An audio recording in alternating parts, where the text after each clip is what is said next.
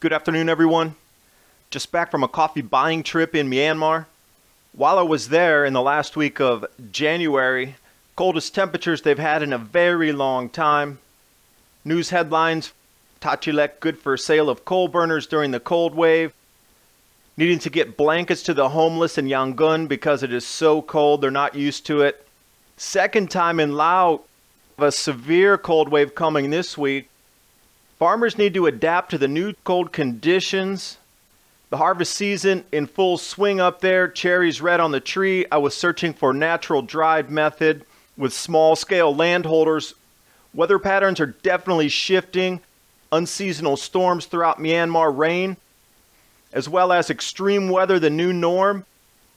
Rainfall down over 50% of what it has been normally and this matches up with the 1756 era with extreme drought in the region. This does not bode well for China in the northeastern areas because this is where they grow a lot of wheat and it's going to experience a drought again.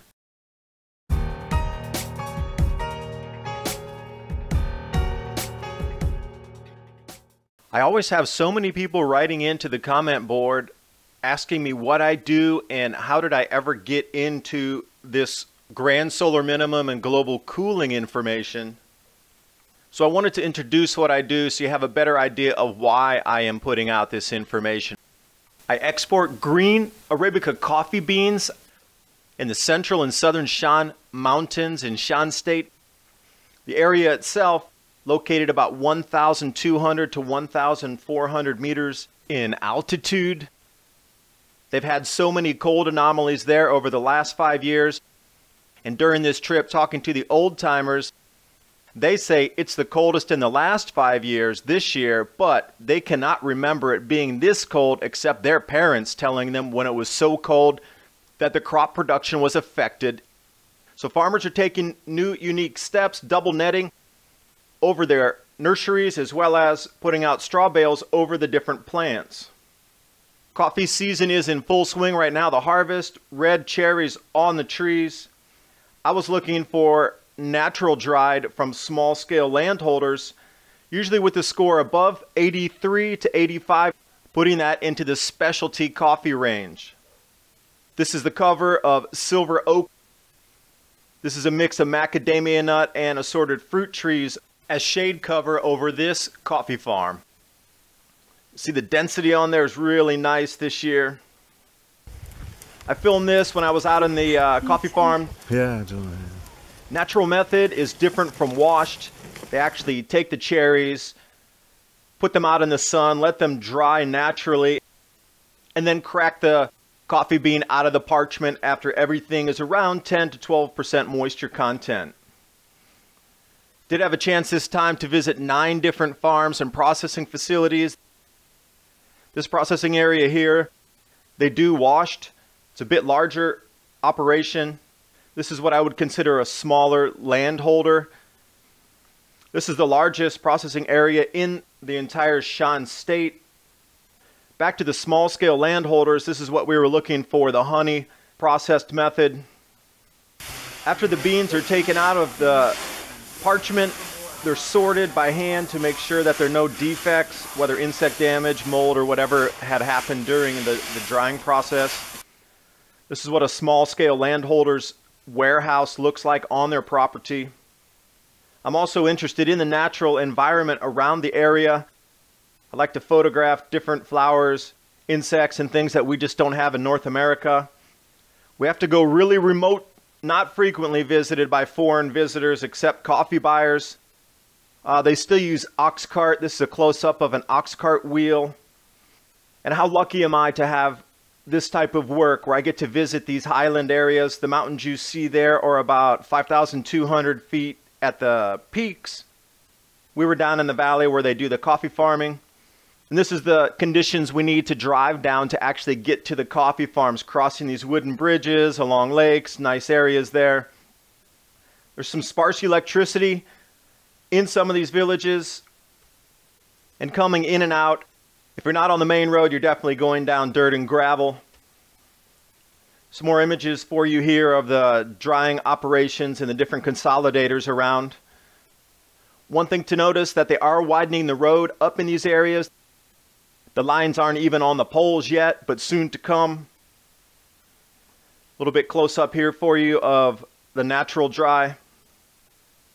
And spectacularly, these are some of the treats. We're just driving along the road from Mandalay, and here we are, some ruins off the side of the road, and there's a couple people around, a small little village behind it. And tucked away is this amazing Buddha. So, those of you that wanted to know what I do, this is what I do. And this is why I see changes in our climate so much, and I see so much cold that is just not normal. Cold and drought were repeating cycles, and I'm just bringing you the information because it's going to affect, and it already is affecting food production on a small scale across different continents currently. You know, down here in Yangon, it's supposed to be 25, 26 degrees. It's 11 degrees Celsius. People are huddled in blankets. They're just not used to the cold. This cold wave is unusual. And it's the fourth year in a row that I've also experienced and heard people talking about since I've been going down there. But each year has been successively cooler than the last. Tachilek, that's on the Myanmar Thai border in the north, a bit north of Chiang Rai. Coal burners on sale. Look how much they're bundled up. Blankets for the homeless. A lot of good social work being done down there, keeping people warm that just are not used to this type of cold. Second time now, cold wave coming through Laos. It snowed there last week. Yet this is the second cold wave coming again. Not usual, not normal.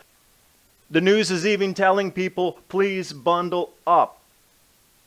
It was so cold around January 24th, 25th that people couldn't even go outside.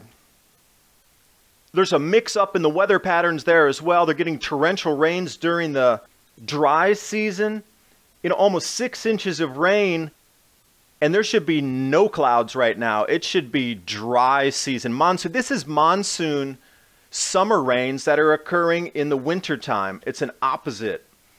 Even the Myanmar Times coming out, extreme weather, the new norm for the farmers. In addition to the flooding in the wrong season, there's a drought that's continuing.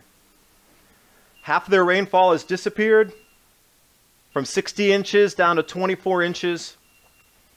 You know, this is not exclusively in Myanmar. You got Laos, Thailand, Myanmar, all experiencing cold, along with first snows in Vietnam, 300 kilometers south of Hanoi. And in 2009, Yangon had the coldest winter in 30 years. And now again, 2016, it's the coldest winter they can remember. Average daily high and lows for Yangon usually around 18, but this time it's around 11, dipping down 11.8 if you need to be exact. Now, the coldest year on record was 1960 with 9 degrees Celsius. This comes from the Union of Myanmar Ministry of Forestry. When I know there was such a severe drought going on, so I jumped over to the Monsoon Asia Drought Atlas.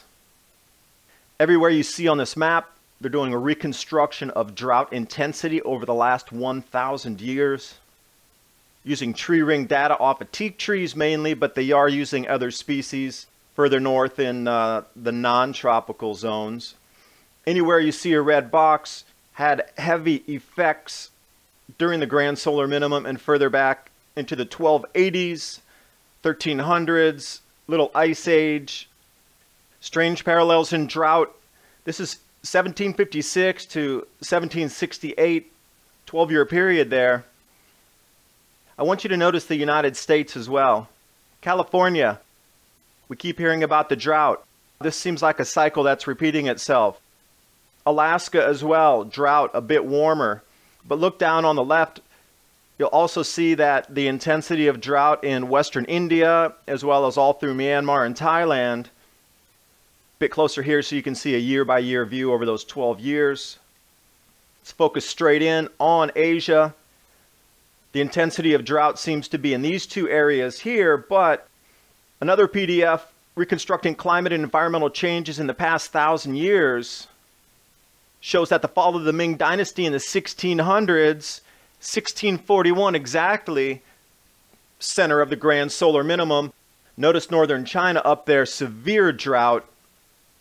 That's exactly where they grow their crops. Not only is China going to get smashed with cold, but they are going to go into intense drought. So everywhere you see on this map here, north of 35 North is going to go offline, and China imports so much food to keep its citizens fed right now.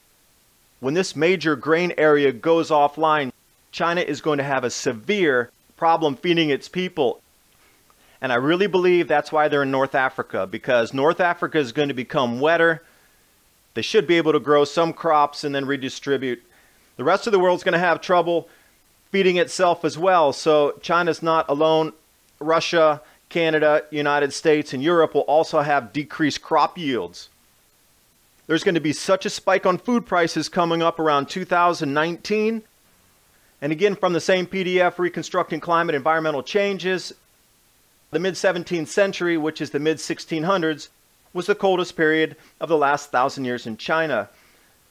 If the new grand solar minimum kicks in as intense as it was then, they are going to repeat the exact same pattern and they will see the exact same crop losses.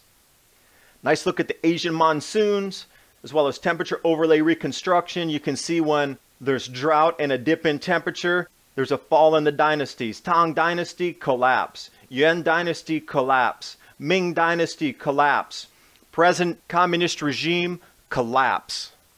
Thanks for watching. Hope you got something out of the video. I did want to show you what I do and why I'm into this presentation of the information I give out. I want you to make your own decisions after I show you these videos. I don't want to tell you what to think. I want you to think for yourself. It's going to be a concerted effort of global population working together to get through this next crop loss era. And I really hope as a species we can get it together because there is so much division amongst us right now. We are one human race, we are one human species. The only way that billions of us are going to continue to survive is if we work together.